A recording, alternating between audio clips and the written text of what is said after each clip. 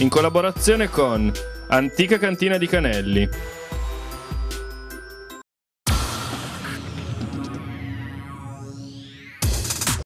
Il caso è stato risolto anche grazie alla collaborazione della Apple che ha captato il segnale dell'iPad rubato nel corso della violenta rapina in villa avvenuta lo scorso anno a Monte Grosso d'Asti. I due autori principali sono stati catturati con altri quattro rapinatori già identificati ma irreperibili, nella notte del 14 ottobre entrarono nella grande casa di frazione Tana della cittadina statunitense di origini rumene Andrea Olteanu per farsi consegnare gli oggetti di valore, almeno 50.000 euro, puntarono le pistole contro i suoi due figli di 7 ed 8 anni. Inoltre legarono mani e piedi un collaboratore finanziario della donna presente nella villa. I due arrestati rinchiusi nel carcere di Alessandria sono i fratelli Spita, Petrus e Mirel Spita abitavano nel quartiere Cristo del capoluogo alessandrino da dove è pervenuto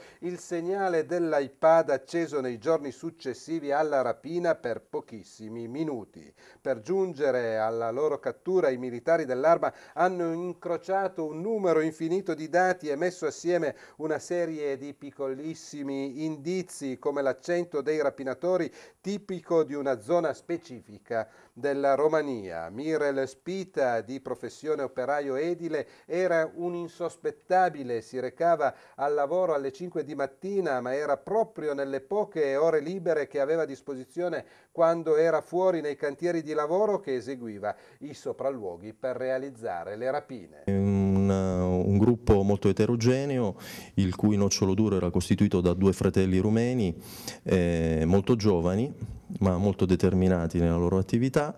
Eh, peraltro uno dei due eh, operaio di una ditta edile, il quale eh, spostandosi per la sua attività lavorativa selezionava così gli obiettivi e comunicando al fratello quello prescelto lasciava a questo l'incarico di formare il gruppo che avrebbe poi materialmente consumato la rapina, il furto piuttosto che quant'altro. Con i fratelli Spita sono stati identificati gli altri autori, altri quattro rumeni ed un albanese. Uno non ha partecipato materialmente al colpo, ma è un complice di una vasta banda di professionisti del crimine che a seconda delle loro competenze venivano assoldati proprio dai fratelli Spita. I carabinieri hanno anche recuperato materiale rubato in un'impresa edile per un valore di 10.000 euro. Tutti gli elementi raccolti fanno anche supporre che tutti gli oggetti rubati in Italia, ma anche in Germania, venissero riciclati in Romania. Ma il fatto straordinario di questa importante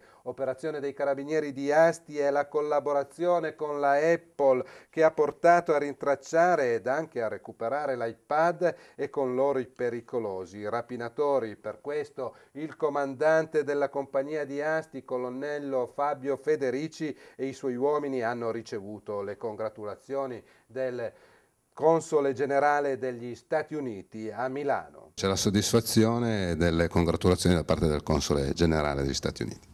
Sì, questa è una cosa che ci, che ci dà molta soddisfazione. Eh, c'è stata una collaborazione con il consolato ci ha consentito di intrattenere dei rapporti con la casa madre dell'apparato elettronico eh, che ha sede negli Stati Uniti e, e, in questo senso molto utile è stato il loro, il loro intervento. Comandante, con l'individuazione dei responsabili della rapina di Montegrosso, è l'ennesimo successo da parte dell'Arma, è stato sottolineato anche in prefettura come quest'anno siano praticamente state tutte, risolte tutte le rapine. Se l'Arma dei Carabinieri in questo caso fosse un'azienda voi avreste la tripla A+.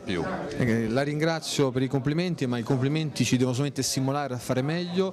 Eh, purtroppo quando ci sono questi brutti fatti il nostro compito principale è impegnare tutte le nostre risorse fisiche e mentali dei nostri carabinieri che sostanzialmente va a loro il plauso perché si impegnano veramente con tanta, con tanta determinazione e quindi speriamo di poter mantenere questo trend come dice lei da 3, 3A, 3, AAA, 3 speriamo che non ci declassino.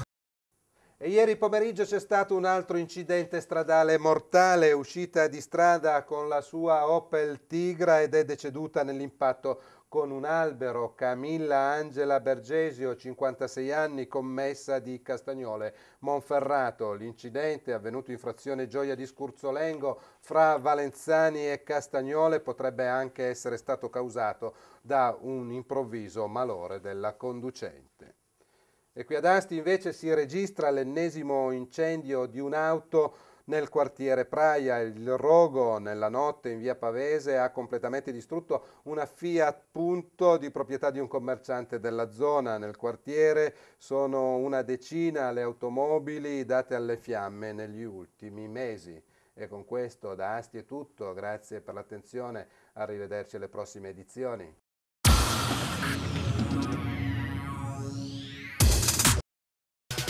In collaborazione con Antica Cantina di Canelli